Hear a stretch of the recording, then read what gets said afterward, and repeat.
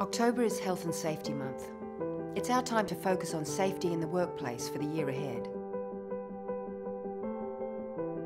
When we think about safety, we need to look beyond physical harm to consider other issues, including workers' mental health and exposure to harassment, stress and occupational violence.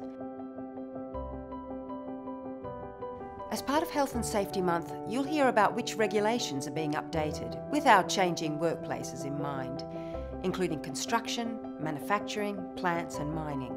All Victorian workers deserve to go home safe every day. And when we work in partnership, we work towards that goal.